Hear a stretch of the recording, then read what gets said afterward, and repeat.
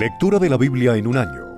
Nueva versión internacional para hoy, 14 de marzo. Jueces, capítulo 19. En la época en que no había rey en Israel, un levita que vivía en una zona remota de la región montañosa de Efraín tomó como concubina a una mujer de Belén de Judá. Pero ella le fue infiel y lo dejó, volviéndose a la casa de su padre, en Belén de Judá. Había estado allí cuatro meses cuando su esposo fue a verla para convencerla de que regresara. Con él llevó a un criado suyo y dos asnos. Ella lo hizo pasar a la casa de su propio padre, quien se alegró mucho de verlo. Su suegro, padre de la muchacha, lo convenció de que se quedara, y él se quedó con él tres días, comiendo, bebiendo y durmiendo allí. Al cuarto día madrugaron, y él se dispuso a salir pero el padre de la muchacha le dijo a su yerno, Repón tus fuerzas con algo de comida, luego podrás irte. Así que se sentaron a comer y a beber los dos juntos. Después el padre de la muchacha le pidió, Por favor, quédate esta noche para pasarla bien. Cuando el levita se levantó para irse, su suegro le insistió de tal manera que se vio obligado a quedarse allí esa noche. Al quinto día madrugó para irse, pero el padre de la muchacha le dijo, Repón tus fuerzas, espera hasta la tarde. Así que los dos comieron juntos. Cuando el hombre se levantó para irse con su concubina y su criado, su suegro, que era el padre de la muchacha, le dijo, Mira, está a punto de oscurecer, y el día ya se termina. Pasa aquí la noche Quédate para pasarla bien. Mañana podrás madrugar y emprender tu camino a casa. No queriendo quedarse otra noche, el hombre salió y partió rumbo a Jebús, es decir, Jerusalén, con sus dos asnos ensillados y su concubina. Cuando estaban cerca de Jebús, y ya era de noche, el criado le dijo a su amo, Vamos, desviémonos hacia esta ciudad de los jebuseos y pasemos la noche en ella. Pero su amo le replicó, No, no nos desviaremos para entrar a una ciudad extranjera, cuyo pueblo no sea israelita. Seguiremos hasta Gibeá. Luego añadió, Ven, tratemos de acercarnos a Gibeá o a Ramá, y pasemos la noche en uno de esos lugares. Así que siguieron de largo, y al ponerse el sol estaban frente a Gibeá de Benjamín. Entonces se desviaron para pasar la noche en Gibeá. El hombre fue y se sentó en la plaza de la ciudad, pero nadie les ofreció alojamiento para pasar la noche. Aquella noche volvía de trabajar en el campo un anciano de la región montañosa de Efraín, que vivía en Gibeá como forastero, pues los hombres del lugar eran benjaminitas. Cuando el anciano miró y vio en la plaza de la ciudad al viajero, le preguntó, ¿A dónde vas? ¿De dónde vienes? El viajero le respondió, Estamos de paso. Venimos de Belén de Judá y vamos a una zona remota de la región montañosa de Efraín, donde yo vivo. He estado en Belén de Judá y ahora me dirijo a la casa del Señor, pero nadie me ha ofrecido alojamiento. Tenemos paja y forraje para nuestros asnos, y también pan y vino para mí y para tu sierva, y para el joven que está conmigo. No nos hace falta nada. En mi casa serás bienvenido, le dijo el anciano. Yo me encargo de todo lo que necesites, pero no pases la noche en la plaza. Así que lo llevó a su casa y dio de comer a sus asnos, y después de lavarse los pies, comieron y bebieron. Mientras pasaban un momento agradable, algunos hombres perversos de la ciudad rodearon la casa. Golpeando la puerta, le gritaban al anciano dueño de la casa, Saca al hombre que llegó a tu casa. Queremos tener relaciones sexuales con él. El dueño de la casa salió y les dijo, No, hermanos míos, no sean tan viles, pues este hombre es mi huésped. No cometan con él tal infamia. Miren, Aquí está mi hija que todavía es virgen, y la concubina de este hombre. Las voy a sacar ahora, para que las usen y hagan con ellas lo que bien les parezca, pero con este hombre no cometan tal infamia. Aquellos perversos no quisieron hacerle caso, así que el levita tomó a su concubina y la echó a la calle. Los hombres la violaron y la ultrajaron toda la noche, hasta el amanecer. Ya en la madrugada, la dejaron ir. Despuntaba el alba cuando la mujer volvió y se desplomó a la entrada de la casa donde estaba hospedado su marido. Allí se quedó hasta que amaneció. Cuando por la mañana su marido se levantó y abrió la puerta de la casa, dispuesto a seguir su camino, vio allí a su concubina, tendida a la entrada de la casa y con las manos en el umbral. Levántate, vámonos, le dijo, pero no obtuvo respuesta. Entonces el hombre la puso sobre su asno y partió hacia su casa. Cuando llegó a su casa, tomó un cuchillo y descuartizó a su concubina en doce pedazos, después de lo cual distribuyó los pedazos por todas las regiones de Israel. Todo el que veía esto decía, Nunca se ha visto, ni se ha hecho semejante cosa, desde el día que los israelitas salieron de la tierra de Egipto. Piensen en esto, considérenlo y díganos qué hacer. Jueces capítulo 20 Todos los israelitas desde Dan hasta Berseba, incluso los de la tierra de Galaad, salieron como un solo hombre y se reunieron ante el Señor el Mispa. Los jefes de todo el pueblo, es decir, de todas las tribus de Israel, tomaron sus puestos en la asamblea del pueblo de Dios. Eran cuatrocientos mil soldados armados con espadas. A su vez, los de la tribu de Benjamín se enteraron de que los israelitas habían subido a Mizpa. Entonces los israelitas le dijeron al levita, Cuéntanos cómo sucedió esta infamia. El levita, esposo de la mujer asesinada, respondió, Mi concubina y yo llegamos a Gibeá de Benjamín para pasar la noche. Durante la noche los hombres de Gibeá se levantaron contra mí y rodearon la casa, con la intención de matarme. Luego violaron a mi concubina de tal manera que murió. Entonces la tomé, la corté en pedazos y envié un pedazo a cada tribu en el territorio israelita porque esa gente cometió un acto depravado e infame en Israel. Ahora, todos ustedes israelitas opinen y tomen una decisión aquí mismo. Ninguno de nosotros volverá a su carpa.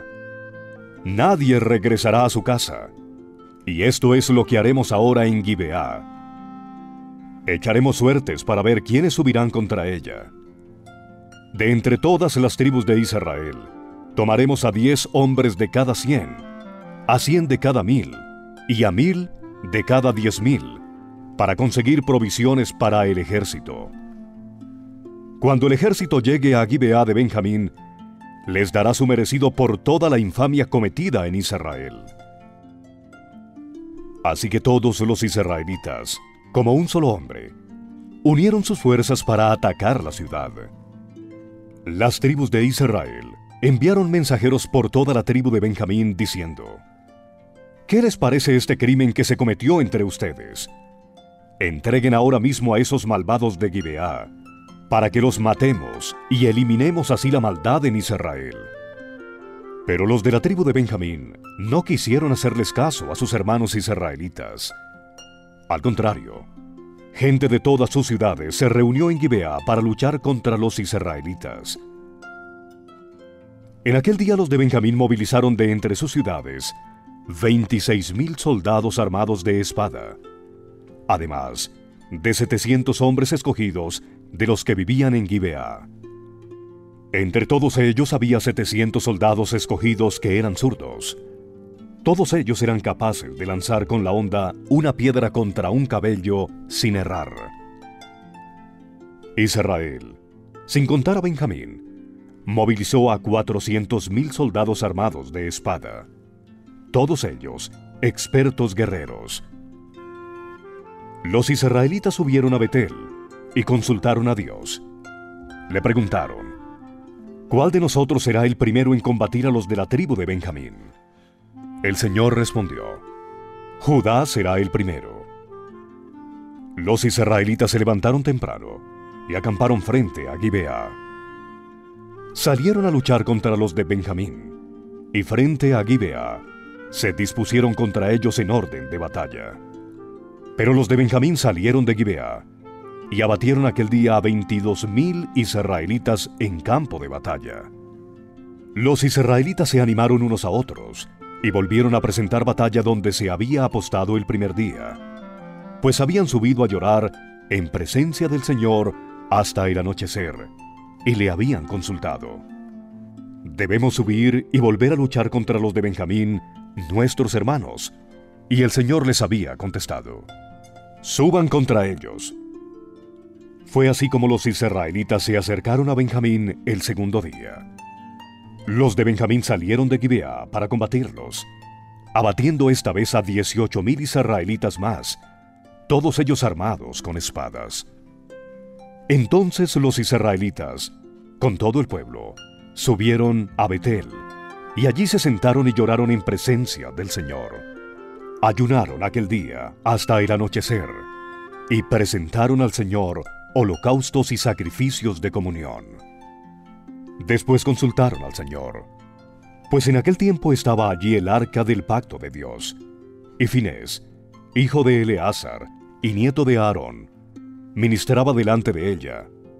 Preguntaron, ¿debemos subir y volver a luchar contra los de Benjamín, nuestros hermanos, o nos retiramos? El Señor respondió, Suban, porque mañana los entregaré en sus manos.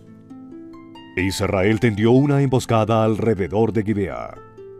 Al tercer día, subieron contra los de Benjamín, y se pusieron en orden de batalla contra Gibeá, como lo habían hecho antes. Los de Benjamín salieron a su encuentro y se vieron obligados a alejarse de la ciudad. Comenzaron a causar bajas entre los israelitas, como en las ocasiones anteriores, y alcanzaron a matar a unos 30 hombres en el campo abierto, y por el camino que lleva a Betel, y también por el que lleva a Gibeá. Los benjaminitas decían, Los estamos derrotando como antes.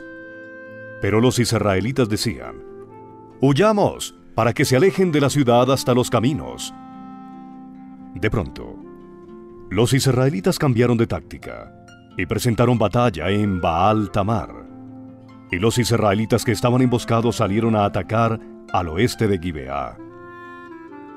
Diez mil hombres de los mejores guerreros de Israel lanzaron un ataque frontal contra Gibeá. Y fue tan intenso el combate que los benjaminitas no se dieron cuenta de que la calamidad se les venía encima. El Señor derrotó a Benjamín delante de Israel. Y aquel día los israelitas mataron a 25.100 hombres de la tribu de Benjamín, todos ellos armados con espadas. Allí, los de Benjamín cayeron en cuenta de que habían sido vencidos. Los hombres de Israel habían cedido terreno delante de Benjamín, porque confiaban en la emboscada que habían tendido contra Gibeá.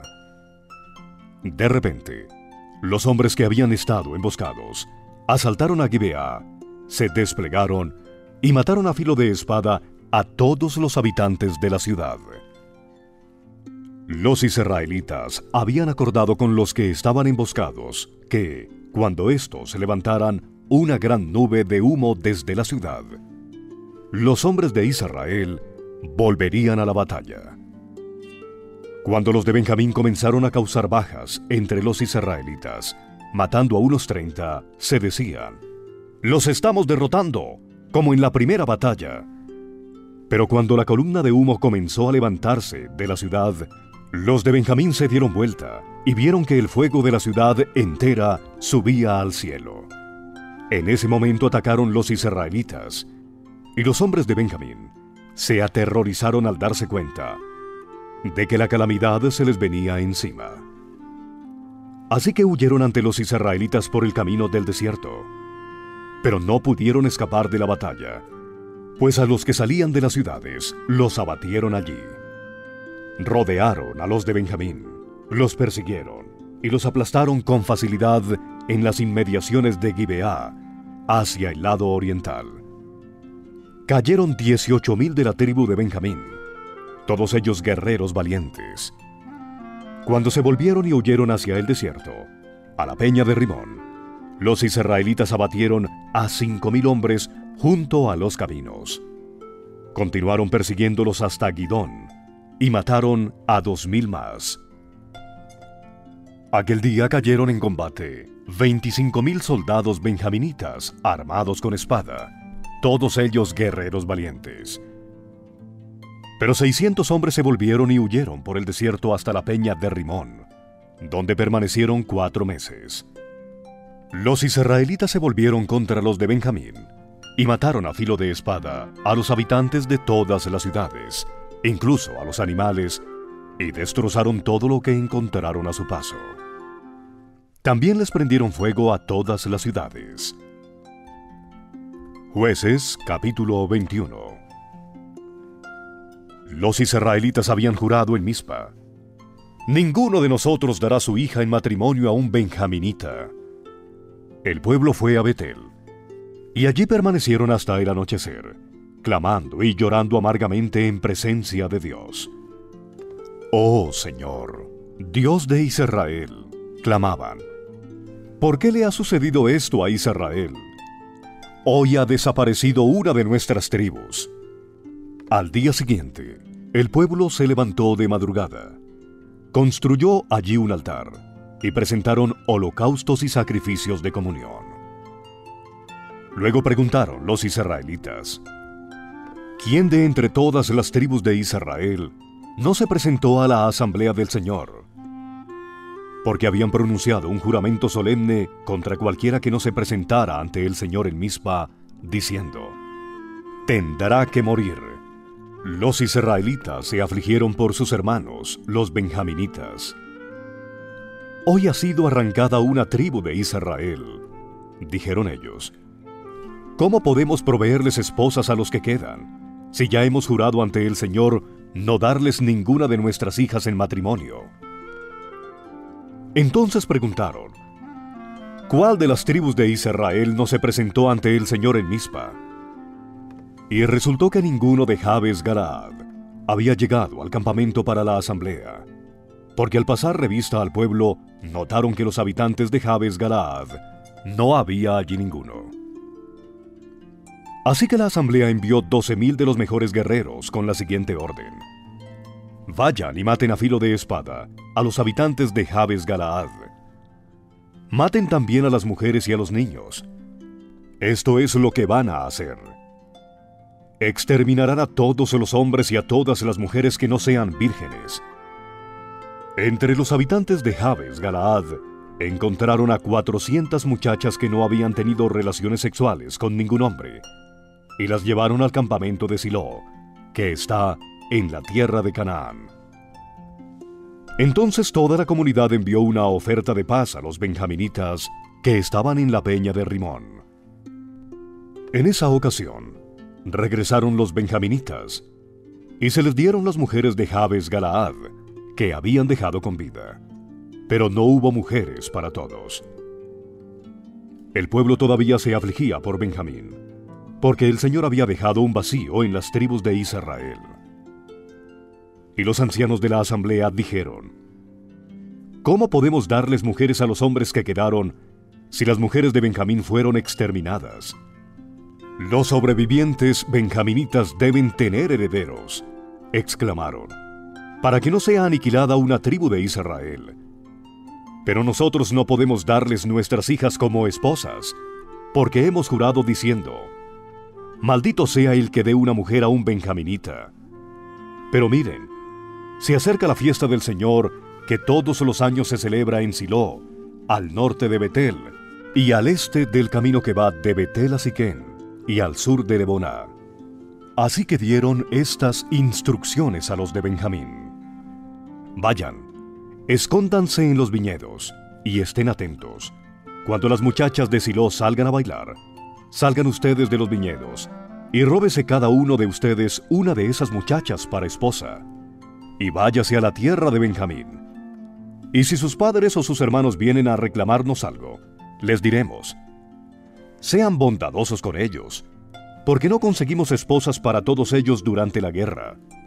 Además, ustedes son inocentes, ya que no les dieron sus hijas. Así lo hicieron los de la tribu de Benjamín. Mientras bailaban las muchachas, cada uno de ellos se robó una y se la llevó. Cuando regresaron a sus propias tierras, reconstruyeron las ciudades y se establecieron en ellas. Luego de eso los israelitas también se fueron de aquel lugar y regresaron a sus tribus y a sus clanes, cada uno a su propia tierra. En aquella época no había rey en Israel. Cada uno hacía lo que le parecía mejor.